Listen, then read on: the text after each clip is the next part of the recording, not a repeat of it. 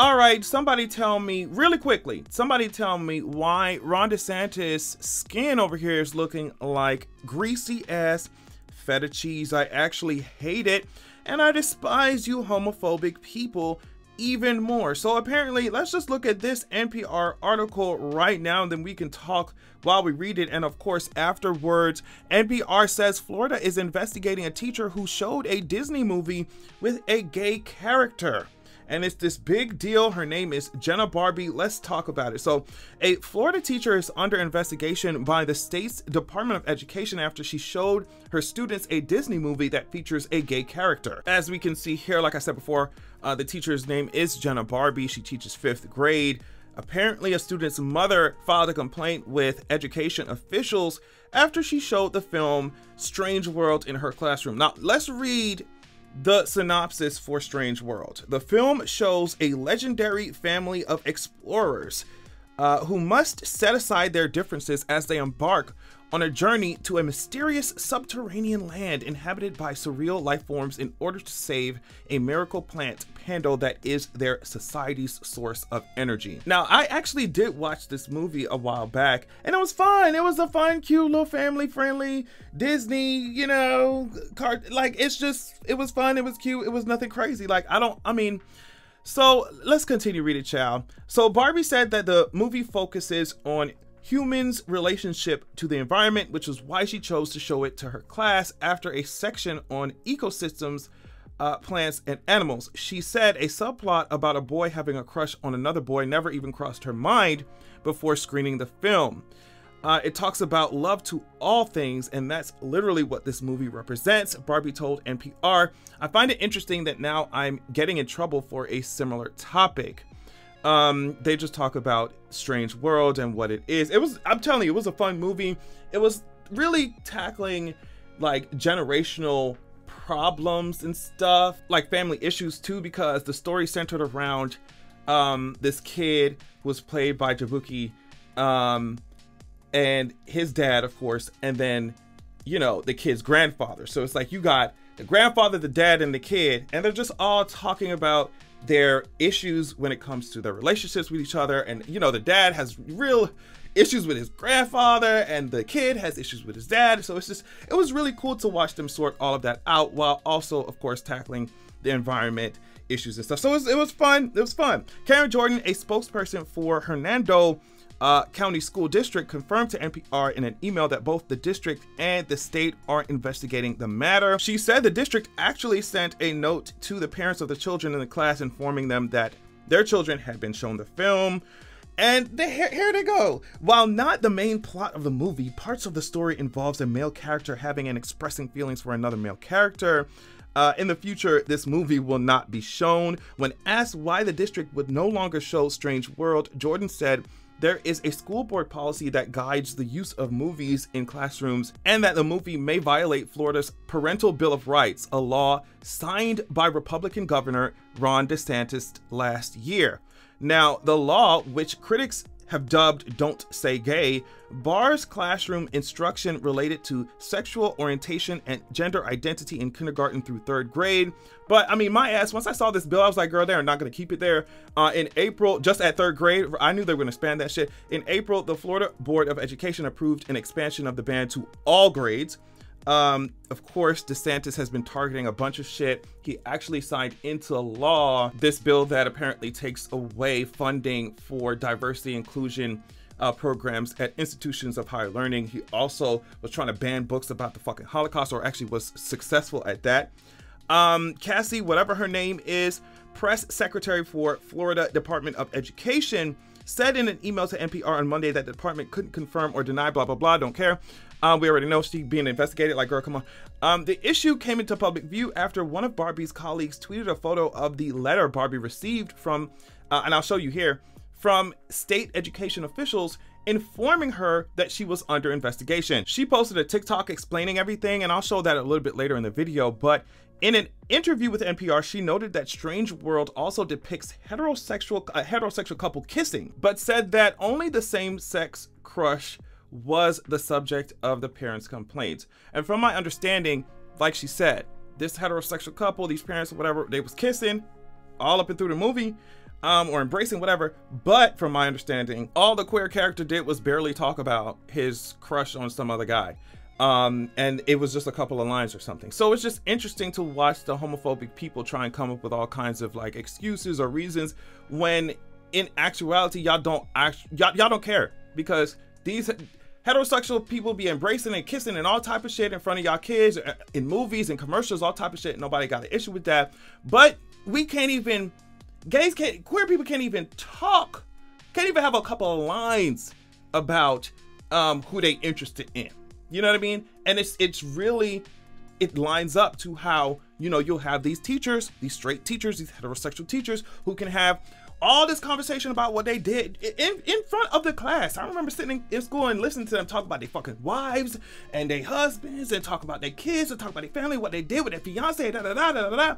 But a teacher who is queer might really not feel comfortable even putting a goddamn picture of their partners on the desk at, at school. It's absolutely ridiculous. Y'all be homophobic as hell. And I just, I always think about what this kind of representation or what you know, just acknowledging the fact that LGBT people exist and everything it's all right, like it's okay. I just think about what what kind of wonders that would have done for my self-esteem when I was young, when I was in grade school. You know what I mean? Like just seeing like, oh, okay, gay people exist, you know, and I knew gay people existed, but like just the discrimination and the hatred and the, you know, the way that kids or and adults would talk about gay people in school. It's just like there was nothing to counter that. There was nothing to counter that.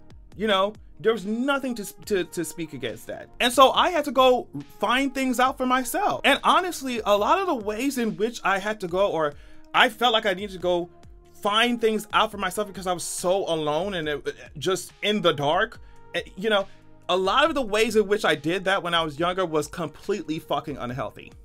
It was completely unhealthy, doing shit behind closed doors, running off with niggas, older ass. Like, it's just completely unhealthy the kinds kinds of shit I was doing when I was younger.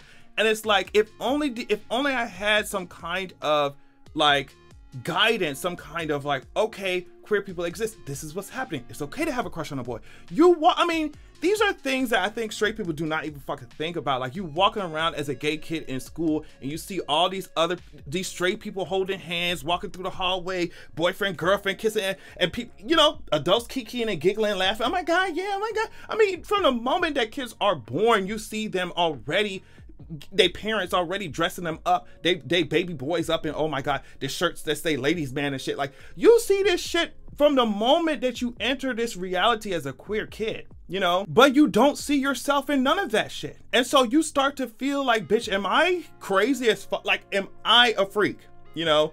And that kind of thinking can really get some kids into some fucked up shit. And I'm saying this from experience because I was a young kid who I feel like if I had some more guidance, if I had some more reassurance, if I had some more like people saying it's all right to be queer, there's certain dangerous situations that I probably would not have found myself in. So my thing is like, if y'all claim to care about these kids, y'all need to make sure that they fucking feel safe, and you need to make sure that they know that ain't shit wrong with them if they queer, because we got some of these motherfuckers who are in government who are trying to act like they anti-LGBT and pushing anti-LGBT laws you know what I mean? These Republicans, it's, you know, these bitches in government. But if you look at their internet browsing history, it would be all type of gay porn and that shit. And some it's it's some it's actually predatory type shit that they try to project onto, you know, especially drag queens and trans people when y'all are the ones from the Catholic Church to the Southern Baptist Convention to y'all weirdo ass youth pastors,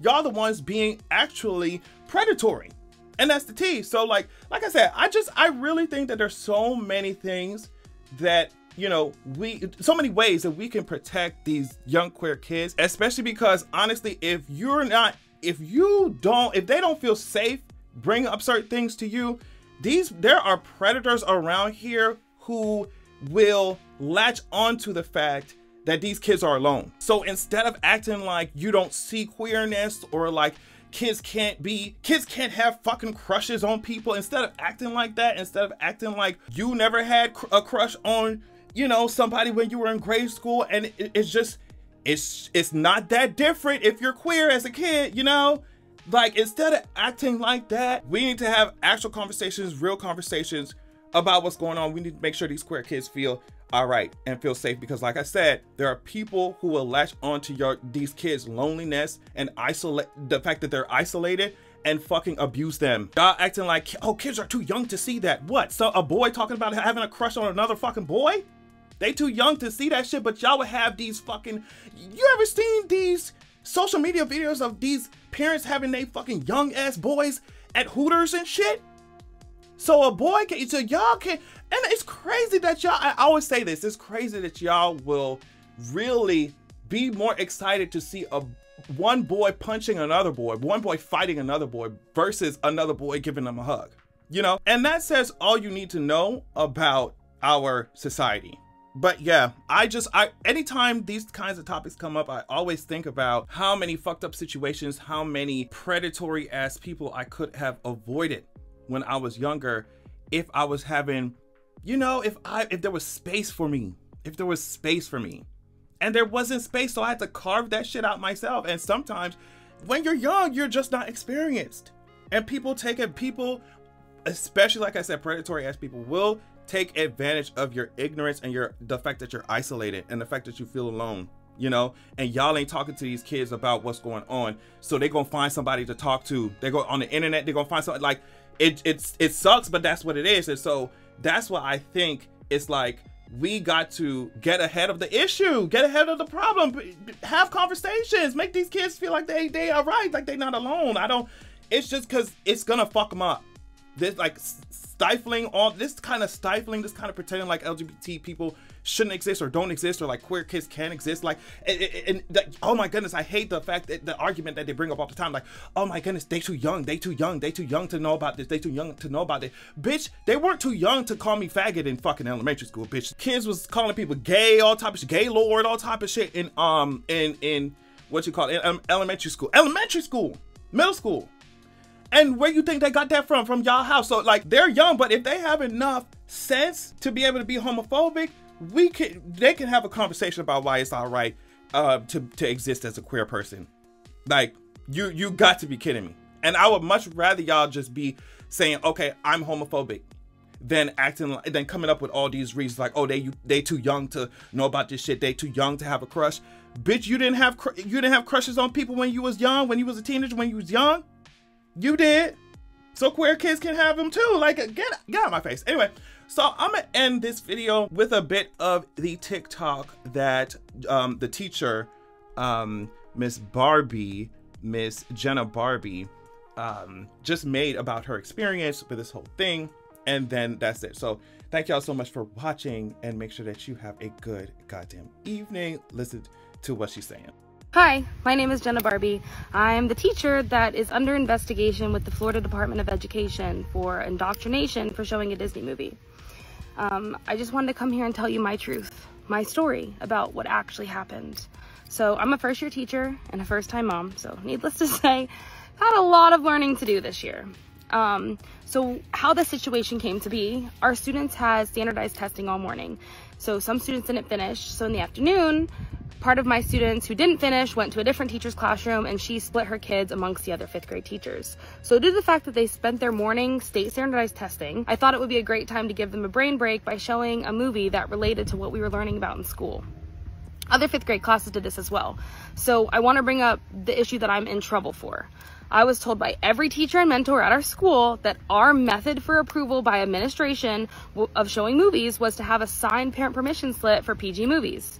I had that from the beginning of the year. Uh, the reason I was turned in is because one of the split students was a school board member's daughter. That school board member is currently on a rampage to get rid of every form of representation out of our schools. She even spent days this past week going to all the high schools to get rid of anything that had to do with representation whatsoever. She even had admin escort her to a teacher's classroom that had a sticker of a black hand and a white hand holding hands, and the white hand had a different color fingernail for every finger. So the school board member called the Department of Education on me for indoctrination before ever coming to our school to talk with me or admin about the situation. So I chose this movie because it relates to our curriculum. So this movie is perfect. My thought process was what a better way to showcase all these standards along with huge lessons of overcoming differences, spreading kindness, communication, and chasing your dreams. A lot of which were in our, are in our social emotional Florida best standards as well. Is a character in the movie LGBTQ? Absolutely. Is that why I showed it? No. I have a lot of fifth grade students who have come to me this year, long before showing this movie, talking about how they're part of that community as well. And it's not a big deal to me, so I just said, okay, that's awesome, do you. Um, not pushing anything, just being accepting. That's what I do. Um, does that have anything to do with why I showed it? Not in the slightest. The LGBTQ aspect uh, of the movie, they're harmless. It's just a talked about crush, and it's only a couple lines in total scene time of just over two minutes. The parents in the movie kiss a lot, and that wasn't even brought up, and that's the issue. I also want to bring up a fact that none of my students cared or batted an eye. They didn't even know this was a big deal until the board member and the state made it a big deal. They're using it against me, saying they're protecting the children and it's for their safety. But what is this actually showing them? Their teacher showed a movie to help them connect to our curriculum and learn some valuable life lessons. But the minor representations that have nothing to do with the movie are such a big deal that now admin is in their room, pulling their teacher out, calling the students one by one down to the office to interrogate them in the middle of my lessons. And now there is an investigator from the Florida Department of Education coming to pull my students out of class again to investigate them individually. And by the way, they don't even have to have a signed parent permission slip for that. Do you know the trauma that that is going to cause to some of my students? This is the public education system where students from all backgrounds, cultures, and religions are welcomed and should be celebrated and represented. I am not and never would indoctrinate anyone to follow my beliefs. I will, however, always be a safe person to come to that spreads the message of kindness, positivity, and compassion for everyone. That is the key to the safety for our children. That is the key message that everyone needs to find in their heart and understand. I was taking stuff off the walls the other day, and I had a student come to me and say, Miss Barbee, why are you doing this? And it's because of the new law that was put out about everything being standards. And I said, well, this is what's happening. And they said, why don't we get a say? That's a good point. Why don't you get a say? If you haven't seen the Disney movie Strange World, I highly recommend it. And for those of you who are throwing hate my way without knowing me or my true intentions, you may learn a thing or two from that movie. Follow your heart. Find the compassion. Find the kindness. It's the key to a better, positive life. Thank you. You don't even know me, no man. Try to put one on me, hold me, but this ain't the only, this ain't the only. Push the holy worship me, yeah, you can blow me. I ain't the only, you